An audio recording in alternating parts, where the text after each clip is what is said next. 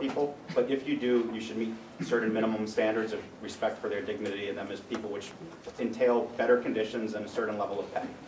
And I said, well, that's fine, and if you want to operate as a business on that model for yourself, you feel this is the only way I should interact with people, that's fine. But if we mandate that, there's going to be plenty of people who could interact with people in poorer parts of the world and make their lives better and contribute to the process that lifts living standards there, who won't at all, because it's not going to be as profitable to do so. And as a result, we're going to leave a lot of people in worse situations. So it's one thing, that's- in fact, so someone having that ethical belief, I have no argument against saying that you should have a different one. What I would say is economics demands that we recognize what the trade-offs, the consequences of that are, and that's going to be real differences in the way people live in parts of the world who are thrown into worse alternatives, for people to feel good about how we're interacting. And I also, by the way, when it comes to an ethical position, I've written with a, a business ethicist and a philosopher on this a little bit. It seems, it seems weird, Matt Zwolinski is the philosopher I've done it with. It seems weird to me if we have a standard that says we're not ethically obligated to help people in the third world at all, so that they don't have a positive right to something from us. If we do interact with them, we have to give them something more, even if they're willing to accept something less and I could help more of them. To me, like, in terms of, it might be, you might say first best is I go in there and I interact with people on the standards that I think justice demands. It would seem, in terms of consequences, the worst is the person who doesn't go in and interact with them at all.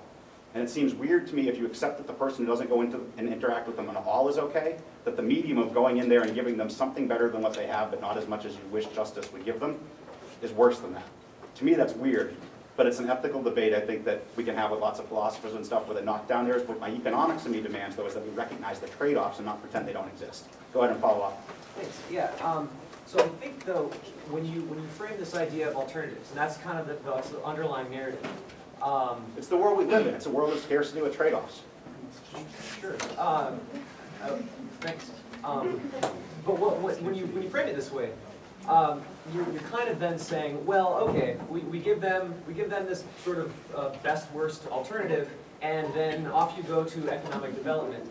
Um, I feel like there's a handful of assumptions in. Firstly, I mean, when you talk about the economic development um, in the US and how that coincided with the eradication of sweatshops, that's very different. Those were domestically owned companies. When you have foreign companies going and operating in other, in other countries, I mean, you're, you're neglecting the idea that maybe you're taking away operate, uh, like opportunities for these people um, to empower themselves. If you, if you institutionalize the um, you know, exploitation of workers through uh, insisting there be a trade-off of wages and conditions, um, it's not obvious that that's going to lead to a path of economic development if you're institutionalizing disempowering people or preventing them from organizing, preventing them from coming together collectively and asserting, um, asserting better conditions, better wages. So I mean, I, I, I understand, you know, pretty, pretty clearly, you've made your, your arguments pretty clear. I, it's just, it's not obvious that uh, economic development would be spurred on by similar things in a, in a peripheral nation um, than, than in a, in a core nation. That's So I'd argue that if we look at any wealthy country today, you'll see this as part of their history of economic development. Ex- With the exception of places that are just natural resource, rich off oil or something like that, but even then you don't see it because it's just a segment of society that's wealthy. Let's take economic Pick, pick, pick, pick any country. You see, I'm not arguing that it's a sufficient condition for development, but I'm arguing that it is part of the process that's happened everywhere, not just the core versus the periphery. So it's All just right, like the your negative. Um, well, couldn't you also say that even if you impose certain restrictions on companies, say like um, allowing workers to uh, organize, those companies might just turn to illegal, um, uh, what's it called, like Im- immigrants, for example. If we even have migrant workers in this country who work under terrible conditions because that's just the way that the market has, um, has, um, I can't speak today because I'm not running on a lot of sleep, but um, The that the regulations have made the market. yeah, essentially that's how the market has, has come out to be. So it's like even if you if you held these uh, these overseas like corporations or whatever sweatshops to higher standards, like they would still find ways to get to uh, labor that. Uh, Yeah, they corrupt the governments and ignore the laws. I mean, yeah, that yeah. Yeah, I, I mean, that happens a lot. On the margin, these laws impact it, but often the laws are simply ignored. And I will take the hard case and argue that in many of those cases, ignoring the laws is a best outcome available for the workers, because if you actually enforce the laws, they wouldn't have the jobs at all, and they'd be in the worst alternatives. Uh, and I think that's unfortunate, because then it promotes a culture of corruption that can lead to undermining other laws and better developments there, too. But it's a constrained optimum, I guess. Way in the back there? Uh, hey, I'm sorry, I maybe I missed it, what was the source for figures two and three before? I can't remember what two and three were. These ones? That Oh, one the. Yeah, these are uh, World Bank World Development Indicators. Okay. Uh, And for this one, it's the derivation of the stuff from the uh, uh, news articles of the anti-sweatshop groups there. So converting it all to purchasing power parity and averaging them together. Okay. So the source actually for that is the combination, and that's in the book that's coming out. It. The reason why I asked that question was, uh, you made a claim earlier about uh, increased wages for workers that are in these sweatshops uh, with corresponding increase in profits to the corporations that employ them.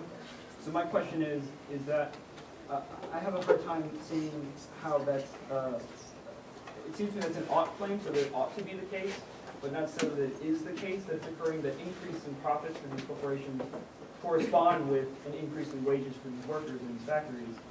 Uh, I'm not, I'm not arguing that. You're not arguing that? No. So there's lots of things that can make profits go up that don't necessarily translate into higher extra productivity per worker, which would determine their wages. So as workers become more productive, that can bring more revenue to a firm. How much the firm of that captures as profits versus how much goes to the workers is going to be part of market forces. And there can be other forces that give you increased profits that don't come from the laborer. So it doesn't necessarily come together. I said something to imply that, I didn't mean to. Okay, because you, you just said that increased worker, uh, so you said, because it was about the discussion about, uh, As worker productivity increases, Yeah. wages will go up.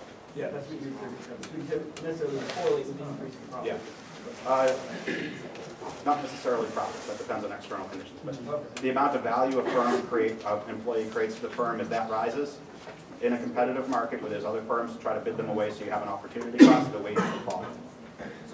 I'm sorry, go ahead. So the last part was, are there, uh, it's, that's fine. I was just gonna say, are there uh, specific examples and like case studies of this occurring like in a factory somewhere in North Thailand, for instance? Uh, I mean, yeah, you can just look at wage rates in these things over like 30 years and see as incomes are going up there. You could also, this isn't directly addressing it, but like on micro level data, the thing I did in Guatemala, this was only a snapshot of the survey for the working conditions part. One thing I did was ask them about their alternatives and how much they were paid in their prior job and how they felt about the conditions in this job the prior one. And what you find is people are choosing, as they became more productive, to move into firms that are giving them better conditions and better pay.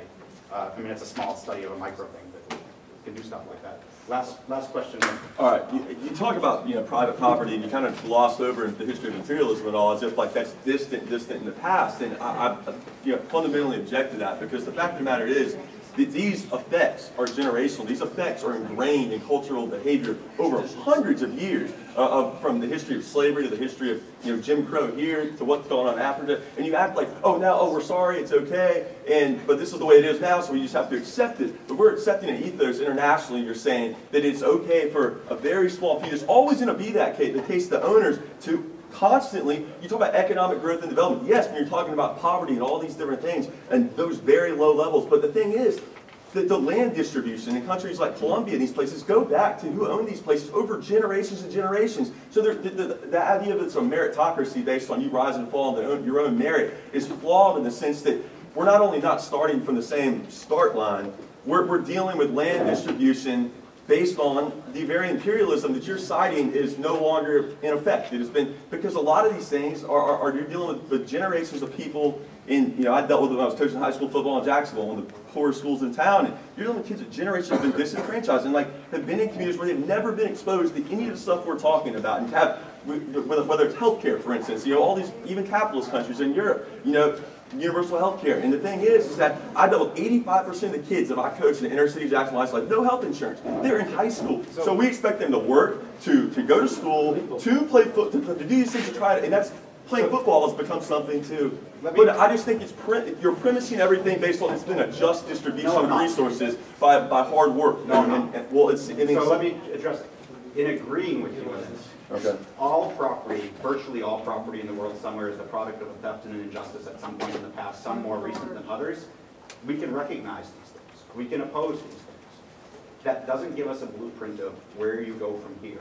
My constrained point in this lecture to all of you is, the vast majority of things the anti-sweatshop movement in particular advocates for in response to the situations we see occurring in the world today will make that situation worse for those very people we care about. That doesn't mean there's nothing you can't do about it. that's a different conversation. I'm skeptical about how much you can. We can recognize an injustice and also recognize, given the way the world works, we can't remedy it. Maybe that's the case, maybe that's not. That's outside of the lecture from today. Today is the point of the anti-sweatshop movement will make those people worse off. So if you were advocating that stuff, stop. And then maybe it switches into this conversation, and you want to work on these things. So I thank you all for coming today and for engaging in the dialogue. By the way,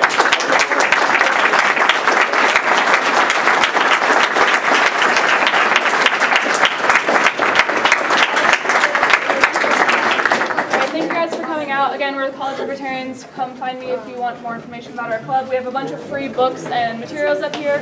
There's going to be an after party later if you guys want to continue to discuss this stuff. John, raise your hand. Talk, talk to John. Thank you.